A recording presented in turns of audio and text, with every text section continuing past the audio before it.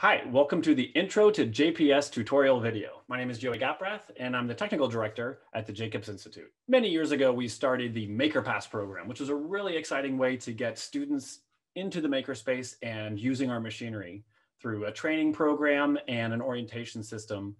Uh, we've had to put that on hold because of COVID, but that also gave us the opportunity to develop some really exciting resources that uh, we're opening up to all students on campus for academic work. So let's dive right in. So let's head on over to jacobsinstitute.berkeley.edu on the top right corner, click on Making at Jacobs, and you can see this Making at Jacobs page does a great job of describing the program in general, and most importantly, our tiered access system, which starts off with tier one users being research within engineering.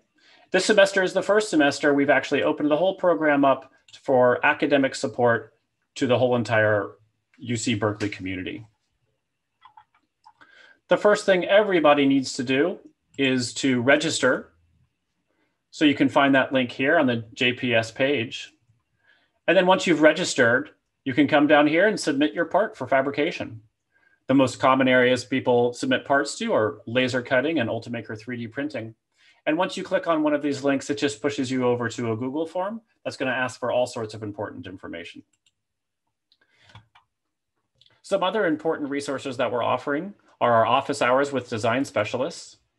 And this page allows you to find a time that works best for your schedule to talk to one of our really talented design specialists about any questions you have, whether that be submitting a part or how to pick up your part or the, the specific fabrication. If there's a design specialist you have in mind already that you want to meet with because their expertise lines up with what you need, come on down to this part of the page and you can actually book an individual office hour with that individual. Lastly, another exciting resource that we're offering are virtual workshops. We have some set ones like Fusion 360 or Rhino. We'll be offering more all semester long. Tucked in over here is another really great resources, which are video tutorials. You found mine, but there's others really great ones here too. Usually with things like how to prepare your part for submission as it pertains to a certain process.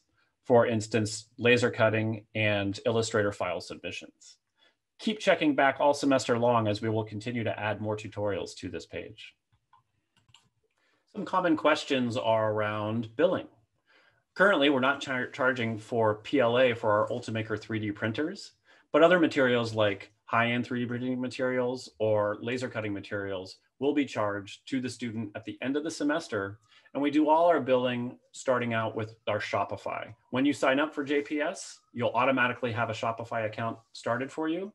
And over there, you can find out really particulars about how much things are costing. Um, shipping is something we do charge for, and you can find shipping charges on our Shopify account for normal three-day shipping or overnight shipping. You can provide your own materials. Uh, just simply come by during our one of the open window pickup times and drop it off. JPS parts can be picked up at our pickup window, which is open every weekday from 11 a.m. until 1 p.m. and then 5 to 7 p.m. in the evenings. Our pickup window is located on the south side of Jacobs Hall. And uh, you can see here the breezeway. This is the Etcheverry breezeway. And this is the area on the side of our building where we have a couple double doors right here. Uh, and you can find the pickup window there.